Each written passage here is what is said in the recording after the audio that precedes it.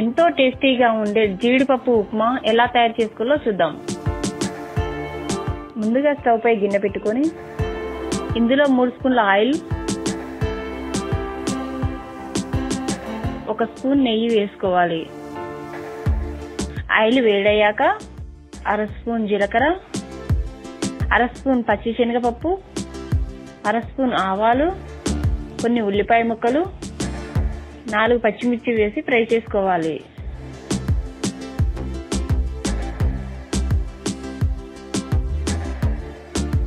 తర్వాత కొంచెం కరివేపాకు.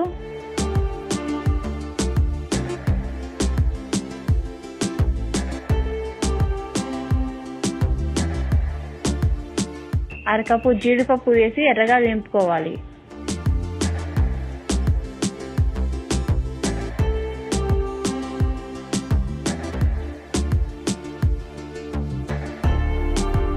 జీడిపప్పు ఫ్రై అయినవి ఇప్పుడు ఇందులో అరకప్పు క్యారెట్ ముక్కలు.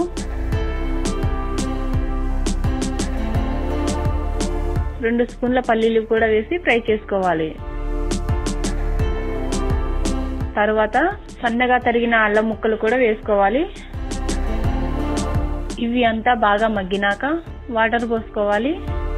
ఒక కప్పు గోధుమ రవ్వకి రెండు కప్పుల నీళ్ళు పోసుకోవాలి.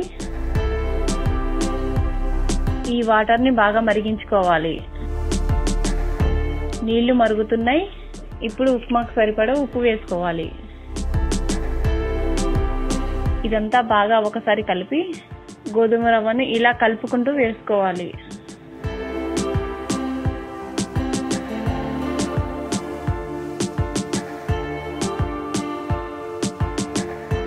ఇది మూత పెట్టి ఒక ఐదు నిమిషాలు ఉడికించుకోవాలి.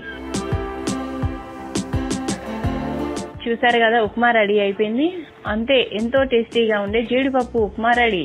ఈ వీడియో మీకు నచ్చినట్లయితే లైక్ చేయండి. మా ఛానల్ని సబ్స్క్రైబ్ చేయండి.